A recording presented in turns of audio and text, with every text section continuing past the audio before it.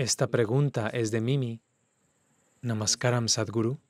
En las últimas semanas has estado hablando de hacer del hogar un dulce hogar para vivir. Sin embargo, el hogar no puede ser dulce para muchos que son víctimas de violencia doméstica y no pueden escapar a ningún lado. ¿Este es un hombre quejándose o una mujer? Mimi. ¿Ah? Mimi, M-I-M-I. Se ve como una mujer. Suena como una mujer.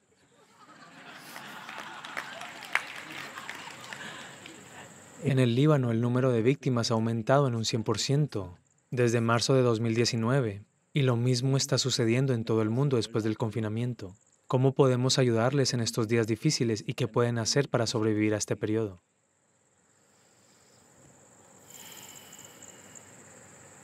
Violencia doméstica. Pensé que podría ser un hombre porque estos días las mujeres están más en forma que los hombres.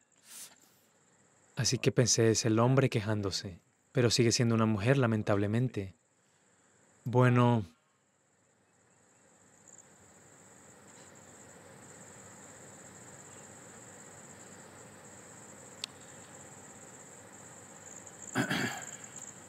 Mira, esto es lo que estamos tratando de cambiar. Esto es lo que el mundo está tratando de cambiar. Porque, porque una mujer o un ser humano femenino tiene ciertas responsabilidades biológicas en términos de traernos a todos aquí. Debido a eso, hubo ciertas desventajas sociales que evolucionaron con el tiempo. Estas desventajas se han explotado con demasiada dureza en muchas sociedades, en casi todas partes, aunque no todos, pero en todas partes. Ha sucedido.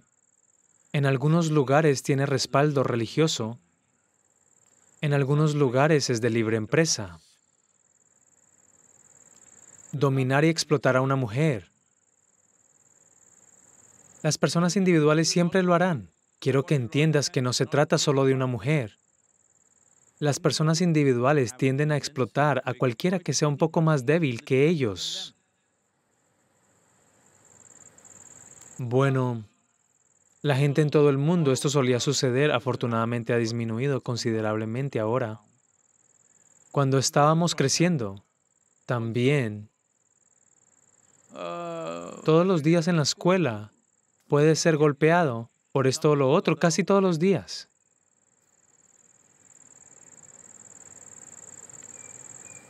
¿Por qué estás golpeando a un niño? Simplemente porque son más pequeños que tú. Incluso tenías refranes, mm, hijos sin dolor, padres sin amor, algo, algo así. Entonces no los estás golpeando porque sepas más de algo. No los estás golpeando porque tú hayas evolucionado y ellos no han evolucionado y vas a acelerar la evolución con un palo. Simplemente son más pequeños que tú. ¿Cómo es que cuando crecen no los golpeas? Porque ahora sabes la consecuencia. Entonces, de manera similar, ellos no necesariamente están golpeando a alguien porque sean mujeres. Las están golpeando porque son físicamente más débiles en comparación con un hombre un poco más pequeñas y más débiles, en general, por lo menos. Entonces esta explotación de cualquiera que sea más débil que tú, ya sea física, financiera, socialmente, de cualquier forma, si eres un poco más débil, te empujan por todos lados. Sabes,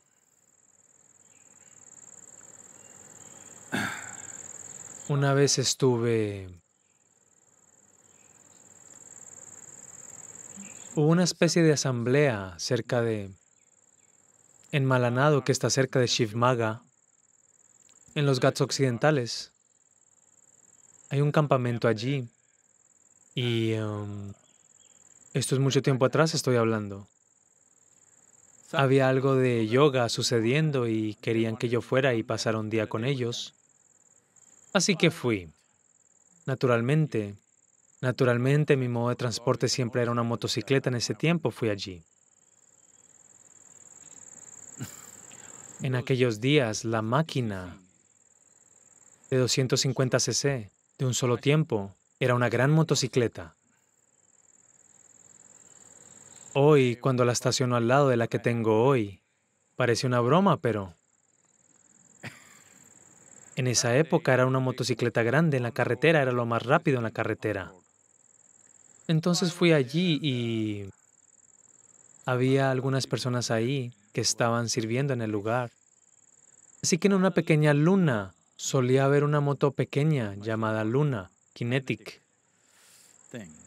Así que en esta luna, este tipo va a comprar algunas verduras de un lugar lejano y viene porque esto es en una selva remota. Y entonces venía con todas estas bolsas y un camión iba y el camión lo empujó fuera de la carretera. Entonces se cayó y un poco de daño, sin grandes daños, pero algunos daños, algo de piel perdida, nada de huesos. Entonces llegó y estaba contando lo que pasó y, ya sabes, porque yo no tenía poder. Me empujó así. En el camino debes siempre tener algo de poder. Dije, no solo en el camino, casi en cualquier lugar, si no tienes poder, te empujarán. Lamentablemente, el mundo se ha vuelto así. Es por esto, es por esto que un espacio espiritual es muy importante, donde las personas no son vistas por su fuerza. Las personas no son vistas por su fuerza física o su fuerza financiera o algo más así sino que las personas sean valoradas solo por lo que son. Necesitamos construir una sociedad así. Esto, violencia dentro de la casa. Sé que mucha gente está tratando de abordarlo como si fuera un problema de hombre-mujer. No es un problema de hombre-mujer. Este es un problema del hombre contra cualquier cosa. Cualquier cosa que sea más débil que tú. Si es muy pequeño lo aplastarás. Es un poco grande, le arrojas piedras. Si es un poco más grande, tomas un palo y lo golpeas. Casi cualquier cosa.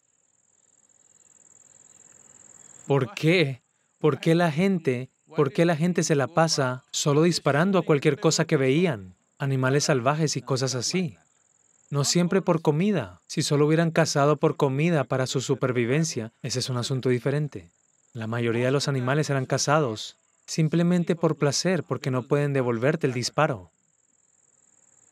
Entonces le disparas a un búfalo porque no puede dispararte a ti, golpeas a un niño porque no puede devolverte el golpe, golpeas a una mujer porque ya no puede devolverte el golpe.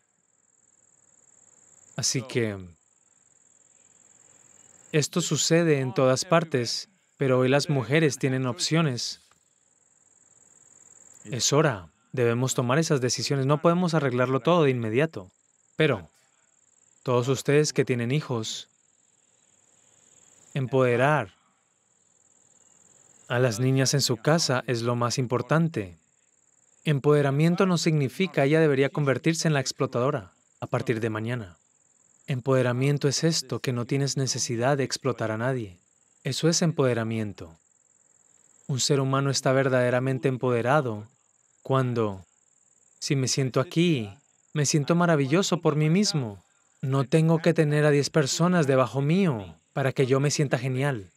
Esto es empoderamiento.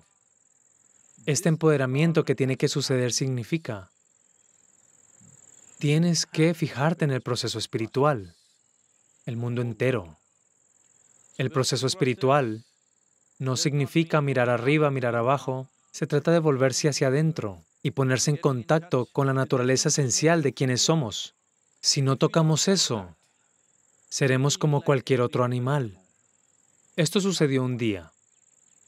Un león caminaba por la selva y se sentía como este hombre en la escena de violencia doméstica.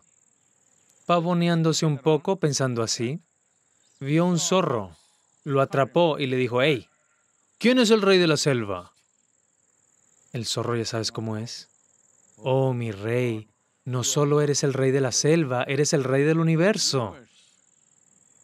Se sintió un poco más, se hinchó y luego siguió pavoneándose. Entonces vio Un leopardo lo atrapó. ¿Quién es el rey de la selva? Se estremeció, porque no es rival para el león. Dijo, no, no, definitivamente, eres el rey de la selva, sin lugar a dudas. Si tuviera dos opciones, serías tú y tú. Entonces se sintió realmente maravilloso, incluso un leopardo está temblando frente a él. Y llegó a un pequeño claro, allí vio un enorme elefante de pie. Entonces rugió, ¿quién es el rey de la selva?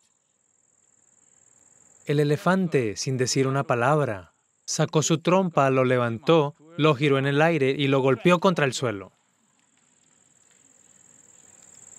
Con la espalda bastante dolorida, podría solo habérmelo dicho, El elefante dijo, pero tenía que expresar mi opinión. Entonces este problema, que donde sea que encuentres a alguien que sea un poco más débil que tú, física, financiera, social, políticamente, quieres molestarlos. Esto es muy animalesco. Está bien para el reino animal, no está bien para los seres humanos.